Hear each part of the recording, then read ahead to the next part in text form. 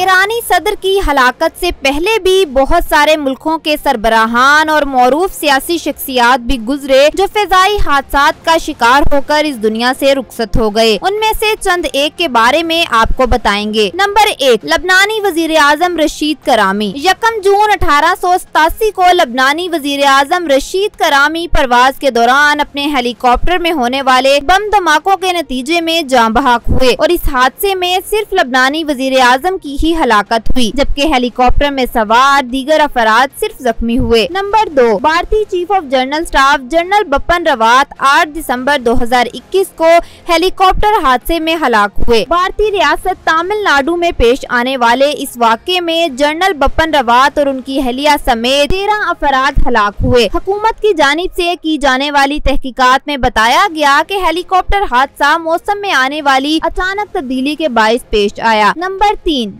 General Ziaul हक। पाकिस्तान के छठे सदर मोहम्मद जियाउल हक का त्यारा 17 अगस्त 1988 में बहावलपुर में गिरकर तबाह हो गया था, जिसके नतीजे में वो चौसठ बरस की उम्र में इंतकाल कर गए। वो बहावलपुर में फौजी यूनिटों के मुआयने के बाद पाक फिजाइया के त्यारे से इस्लामाबाद जा रहे थे। त्यारे को उड़ान भरने के 10 मिनट बाद ही ये हादसा पेश आ गया। नंबर चार, संजय गांधी। सबक वज़ीर आज़म इंदिरा गांधी के बेटे संजय गांधी का इंतकाल 23 जून 1980 को हुआ। संजय गांधी की ज़िंदगी का खात्मा उस वक्त हुआ जब वो दिल्ली के सफदर जंग एयरपोर्ट की जानी बढ़ते हुए अपने तैयारे का कंट्रोल खो बैठे। नंबर पाँच, सदर इराक अब्दुल सलाम आरिफ। इराक के दूसरे सदर अब्दुल सलाम आरिफ का फिजाई त्यारा तेरह अप्रैल सन उन्नीस सौ छियासठ में बसरा के करीब गिरकर तबाह हो गया था। अब्दुल सलाम आरिफ के बाद उनके भाई अब्दुल रहमान आरिफ ने सदर का अहदा संभाला। नंबर छह, अगस्त 2022 को लेफ्टिनेंट जनरल सरफराज अली और दीगर पाँच फौजी अफसरान बलोचिस्तान में उस वक्त हलाक हुए, जब वो फौजी हेलीकॉप्टर जिसमें वो सफ़र कर रहे थे गिरकर तबाह हो गया। उनका नमाज़ जनाजा तीन अगस्त 2022 को अदा किया गया।